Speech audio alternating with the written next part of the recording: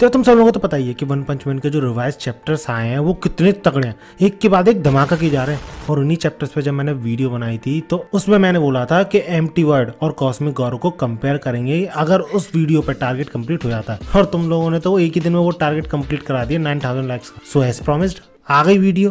Alright, alright, alright. और आज की इस वीडियो में हम वही कंपेयर करने वाले हैं कि एम वर्ड और गारो में से कौन ज़्यादा स्ट्रांग है। क्योंकि अगर तुमने वो वीडियो देखी तो तुम्हें पता होगा कि एम वर्ड ने कॉस्मिक गौरव की जो पावर्स है यानी उसकी कॉस्मिक रेडिएशन जो है उसको एब्जॉर्व कर लिया था। तो तुम सबके मन में सवाल तो ज़रूर आ रहा होगा कि आखिर इन दोनों में से स्ट्रांग है कौन? एंड यही जानने वाले हैं आज इस वीडियो में। So if you interested keep watching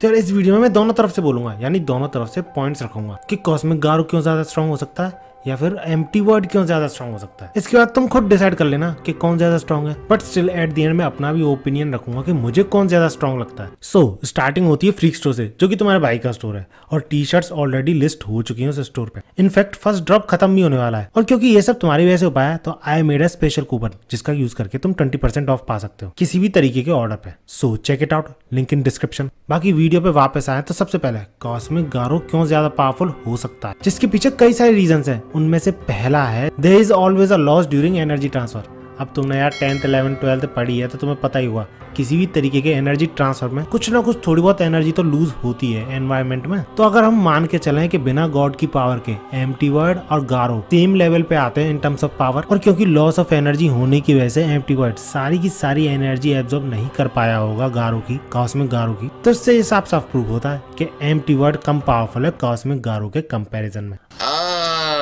Okay. अब ये तो छोटा सा रीजन था, लेकिन लास्ट रीजन जो है ना, वो तुम्हें सोचने पे मजबूर कर देगा कि हाँ शायद कॉस्मिक गारो ज़्यादा पावरफुल है। खैर सेकंड रीजन पे आए तो निंजा लीडर ने सिर्फ़ कॉस्मिक रेडिएशन एब्जॉर्ब की थी गारो की। उसकी पावर्स उसकी टेक्निक एब्जॉर्ब नहीं की थी। तो इसलिए हम इस बात पे 100% परसेंट श्योरिटी के साथ बोल सकते हैं कि कॉस्मिक गारो की तरह निंजा लीडर कॉपी नहीं कर सकता किसी भी बंदे की। जैसे कि कॉस्मिक गारो ने ब्लास्ट और सैटामा की कॉपी की थी, वैसे निंजा लीडर नहीं कर सकता। और तुम खुद ही बताओ कॉस्मिक गौरव तुम्हें किस रीजन की वजह से ज़्यादा स्ट्रॉन्ग लगा था? ऑब्वियसली वो सही टामा की कॉपी कर पा रहा था। उसकी टेक्निक्स उसके पंचेस तक कॉपी कर पा रहा था। सीरियस पंचेस भी तो कॉपी किए थे उसने। और अगर वो ऐसा नहीं कर पाता तो आई डोंट थिंक वो सही टामा के अगेंस्ट में थोड़ी भी देर टिक पाता। और अगर हम इसी रीजन को लेकर एक सिनेरियो क्रिएट करें कि गारो, जिसने की सही टामा की कॉपी कर रखी है, जैसे जैसे सही टामा स्ट्रॉन्ग हो रहा था, वैसे ही गारो भी स्ट्रॉन्ग बनता जा रहा है। वर्सेज एम वर्ड यानी निंजा लीडर जिसके की बारे में हमें ज़्यादा पता नहीं है, उसकी स्किल्स उसकी टेक्निक्स के बारे में ज़्यादा पता नहीं है। लेकिन स्टिल सहीटामा की पावर्स के आगे कोई टिक सकता है क्या? जिस वजह से इस केस में गारो 100% जीतता। और अगर तुम्हें ये सिनेरियो भी ठीक नहीं लग रहा तो तुम खुद ही सोचो। सिंपल कास्मिक गारो जो स्टार्टिंग में था, बिना सहीटामा की कॉपी किए, वो अगर निंजा लीडर से फाइट करने जाता है और उसकी टेक्निक से कॉपी करके उसी पे पेल देता है इनफैक्ट उसकी टेक्निक को कंबाइन कर पाता है अपनी टेक्निक के साथ। जैसा कि उसने ब्लास्ट के साथ किया था तो क्या टिक पाएगा भैया निंजा लीडर बिल्कुल भी नहीं, मुझे तो बिल्कुल नहीं लगता। और ऊपर से एम टी वर्ड यानी निंजा लीडर भाग भी तो नहीं सकता किसी भी तरीके के डायमेंशनल पोर्टल का यूज़ करके। क्योंकि ऐसा करके ब्लास्ट ने गारो को ट्रैप करने की कोशिश तो की थी लेकिन वो नाकामयाब रहा था क्योंकि गारो ने ये चीज़ भी सीख ली थी ब्लास्ट से। तो exactly same Garou ninja leader के साथ भी कर सकता है। बात तो सही है। So that's why I think Garou's technique is superior इसके बाद अगले यानी तीसरे रीजन की बात करें तो वैसे तो हमको एम टी वर्ड की पावर्स अभी तक पता नहीं है लेकिन स्टिल पिछले दो तीन रीड्रॉन चैप्टर्स में इतना तो शो कर दिया गया है कि एम टी वर्ड की जो पावर्स है वो काफ़ी हद तक सिमिलर है ब्लास्ट के, यानी इंटर डायमेंशनल पावर्स है उसकी। और क्योंकि हमने गारो और ब्लास्ट की फाइट देख रखी है और उसमें गारो भारी पड़ रहा था ब्लास्ट पे तो इससे सीधा सीधा अंदाज़ा लगाया जा सकता है कि गारो अगर ब्लास्ट पे भारी पड़ा है तो एम टी वर्ड पे भी भारी पड़ेगा। क्योंकि भैया, अगर कॉस्मिक गारो से फाइट करनी है तो सामने वाले बंदे को गारो से भी ज़्यादा तेज़ी से ग्रो होना पड़ेगा उसे हराने के लिए, जैसा कि सईटामा ने किया था। नहीं तो Garou at the end of the day किसी से भी जीत ही जाएगा। फिर चाहे वो कितना भी स्ट्रॉन्ग क्यों ना हो। और इसके बाद अगले रीजन की बात करें तो ब्लास्ट के थ्रू ही हमें पता चला था कि गॉड की सिर्फ़ एक पावर नहीं है, कई तरीके की पावर्स है, जिनमें से कुछ कॉस्मिक गौरव ने यूज़ की थी और अब एम वर्ड यूज़ कर रहा है। यानी चैप्टर 197 में जब सारे लोग एम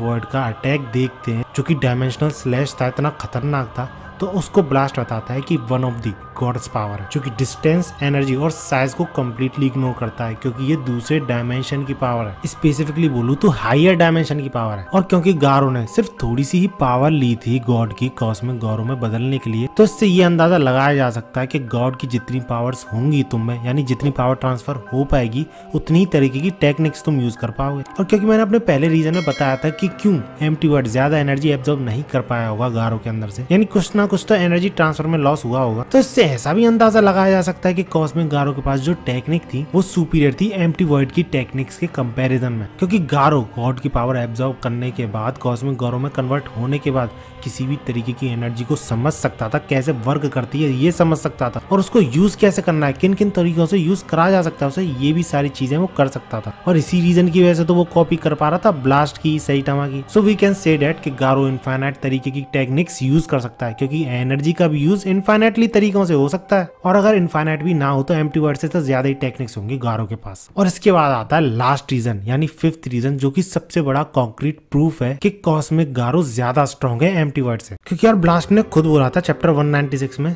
कि ओरिजिनली वो और एम्प्टी वर्ड की जो एबिलिटीज हैं, जो पावर्स हैं, वो बराबर लेवल की हैं।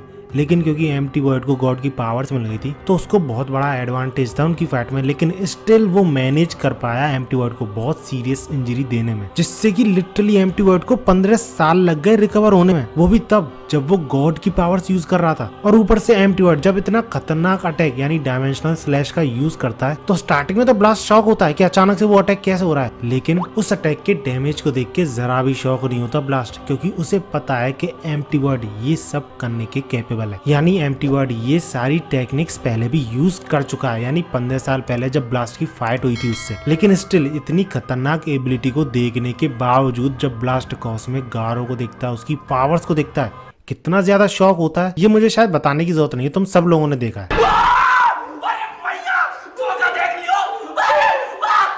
और यही नहीं ब्लास्ट जब एम टी वर्ड के डायमेंशनल स्लैश को देखता है, वो ये भी बोलता है कि लगता है वो फुली रिकवर हो चुका है। यानी पंद्रह साल पहले जितना ज़्यादा वो स्ट्रॉन्ग था, उसी लेवल पे पहुँच चुका है जिसपे सही टाइम उससे पूछता है कि क्या तुम सही में जीत भी पाओगे ओल्ड ड्यूड तो इस पे ब्लास्ट ये बोलता है well I will figure it out क्योंकि मैं भी कोई हाथ पे हाथ धरे बैठा नहीं था। यानी ब्लास्ट इतने सालों से ट्रेनिंग कर रहा था लेकिन अभी जो कॉस्मिक गौरव से फाइट हुई थी ब्लास्ट की, उसके आगे ब्लास्ट की कोई ट्रेनिंग काम नहीं आई। बट स्टिल अभी भी वो काफ़ी ज़्यादा कॉन्फिडेंट है कि वो एम वर्ड को हरा ही देगा। जिस वजह से तुम ब्लास्ट को और एम वर्ड को ऑलमोस्ट इक्वल मान सकते हो। एम वर्ड ज़्यादा स्ट्रॉन्ग हो सकता है थोड़ा बहुत गॉड की पावर्स की वजह से। लेकिन कॉस्मिक गारो एंड ब्लास्ट में कितना बड़ा डिफरेंस था, हम सबने देखा था। एंड डेट्स इट यही कुछ रीजन थे जो कि प्रूव करते हैं कि क्यों कॉस्मिक गौरव ज़्यादा स्ट्रॉन्ग है एम वर्ड से। एंड इसके बाद जाके अब अगर बात करें reason that says M Void is than Cosmic Garou तो उनमें सबसे पहला आता है that he is expert at using god's power क्योंकि तुम खुद ही बता, तुमने सपने में भी सोचा था कि ऐसे गॉड्स की पावर रिलीज़ होती है तो उसको एब्जॉर्ब भी करा जा सकता है। लेकिन निंजा लीडर को देखो, यानी एम वर्ड को, बंदा ना सिर्फ़ ब्लास्ट से हारने के बाद अपनी पावर्स खो चुका था, इतनी बुरी इंजरीज पे, बल्कि ऐसी हालत में भी वो कॉस्मिक गौरव की सारी पावर्स को एब्जॉर्ब भी कर लेता। है लाइक उसी की पावर्स थी और उसने वापस ले ली। या फिर ऐसा भी हो सकता है कि एम टी वर्ड की वन ऑफ़ दी पावर ही यही हो कि वो दूसरी की पावर्स को इस तरीके से एब्जॉर्ब कर सकता है। क्योंकि तुम खुद ही सोचो, इस बंदे का नाम क्या है? एम टी वर्ड यानी बिल्कुल खाली, शून्य। और इसी खालीपन को भरने के लिए तो वो दूसरे की पावर्स एब्जॉर्ब करेगा। और क्योंकि किसी वर्ड में तुम कितना भी कुछ भी डालो, वो कभी नहीं भरती वैसे ही शायद एम टी वर्ड भी कितनी भी स्ट्रेंथ गेन क्यों ना कर ले, कितनी भी पावर्स एब्जॉर्ब क्यों ना कर ले, उसकी भी लिमिट शायद कभी आएगी नहीं। ये सब तो कहने की बात है, क्योंकि वन पंच मैन में तो सिर्फ़ एक ही लिमिटलेस बंदा है, अपना टकलू सही टाइम इसके बाद अगर हम सेकंड रीजन पे आए तो वो है एम वर्ड का निंजा होना। क्योंकि हमने कई सारे एनिमेज में देखा है, कई सारे निंजाज को देखा है कि उनके पास कोई एक ट्रिक या टेक्निक नहीं होती। कई सारी ट्रिक्स होती हैं और हो सकता है उन्हीं में से एक ट्रिक को गॉड की जो पावर्स हैं किसी भी बंदे पे, उसे छीन लेना। और शायद इसी वजह से तो एम वर्ड अपने साथ क्यूब लेके घूमता है सारी जगहों पर। डेट्स वाई अगर कॉस्मिक गारो से फाइट होती है एम वर्ड की तो भैया उसकी पावर्स वो चुरा लेगा। और अगर पावर्स ले ली तो कॉस्मिक गारो से कॉस्मिक हट जाएगा और अकेला गारो कुछ भी नहीं कर पाएगा। और अगर तुम्हें ये पॉइंट स्ट्रॉन्ग लग रहे हैं तो लास्ट वाला पॉइंट सुन के तो तुम हंड्रेड परसेंट कन्विंस हो जाओगे।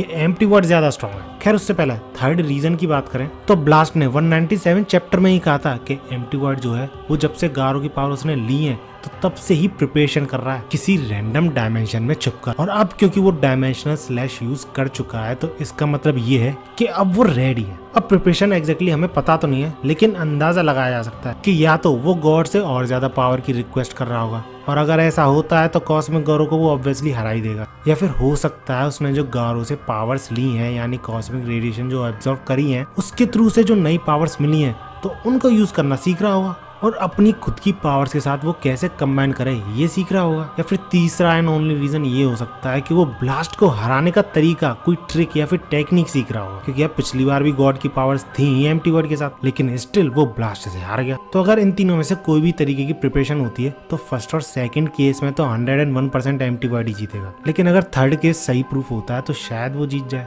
खैर, जो भी है, इसके बाद फोर्थ रीजन की बात करें तो एम्प्टी वर्ड के पास इस पॉइंट ऑफ़ टाइम पे टू एक्स पावर है, जो की गॉड की है यानी एक तो पहली उसके पास जो थी पहले और दूसरी जो उसने गारो से एब्जॉर्ब की है अब तुम्हारे माइंड में ये आ रहा हुआ कि यार उसकी पहली वाली पावर तो चली गई थी ना। फिर टू पावर कैसे हुई? तो नहीं यार, ये कंफर्म नहीं है कि उसकी पहली वाली पावर्स चली गई थी। बस ब्लास्ट ने इतना बोला है कि उसने सीरियस इंजरी दी थी। ये कहीं पर भी नहीं बोला कि उसकी पहली वाली पावर जो थी वो चली गई थी। सो डेट्स वाई इसके बहुत ज़्यादा चांसेस है कि एम टी वर्ड के पास इस पॉइंट ऑफ़ टाइम पे टू एक्स पावर है गॉड की। जिस वजह से ऑब्वियसली वो कॉस्मिक गारो से काफ़ी ज़्यादा आगे निकल जाता। है क्योंकि मैंने पहले बताया, जितनी ज़्यादा गॉड की पावर होंगी, उतनी ही तरीके की टेक्निक्स किसी भी बंदे में आती हैं। इसके बाद आता है फिफ्थ और सबसे स्ट्रॉन्ग रीजन जो कि हमें कन्वर्सेशन में मिलता है सिच और ब्लास्ट जो हमें शो करी जाती है चैप्टर 195 के लास्ट में, जिसमें कि सिच जब ब्लास्ट से पूछता है कि वो जो क्राइसिस प्रिडिक्ट की थी, अरे वही जो इस बुढ़िया ने प्रिडिक्ट की थी गॉड लेवल थ्रेट की, वो शायद कॉस्मिक गारो के साथ एंड हो चुकी है राइट तो इस पे ब्लास्ट सिंपली नो बोल देता है। इनफैक्ट वो तो ये तक बोल देता है की असली खतरा तो अब शुरू होगा, जो कि काफ़ी बड़ा खतरा होगा गारो के कंपैरिजन में। अब हो सकता है ये एम्प्टी वर्ड की ही बात हो रही हो,